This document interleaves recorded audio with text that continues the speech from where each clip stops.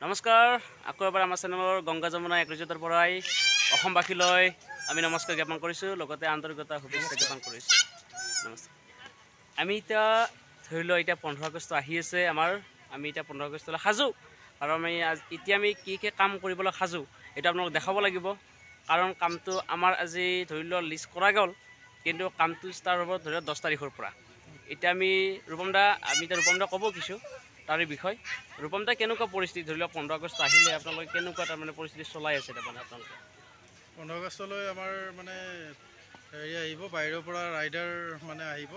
ইয়াতে মানে আমাৰ ষ্টেজৰ আজি চব মানে আয়োজন কৰা হৈছে অলৰেডি কনফাৰেঞ্চৰ ফ্ৰণ্টতে কৰা হ'ব এইবিলাক চব মানে আহিব তাতে কৰিব মানে ধুনীয়া এটা পৰিৱেশ এটা সৃষ্টি হ'ব আৰু তাত।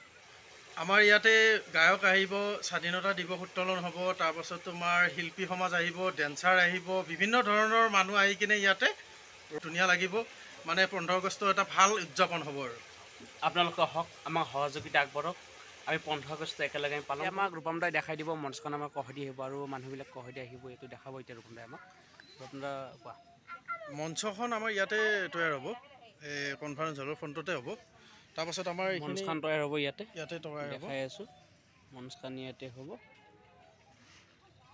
মানুহ চব এই এইপিনে মেইন এণ্ট্ৰি গেটৰ এইপিনে টাৰ্ণিং হয়। এইবিলাক মানুহ ধুনীয়াকৈ এই। জেগাটো ডাঙৰ আৰু বহুত ডাঙৰ।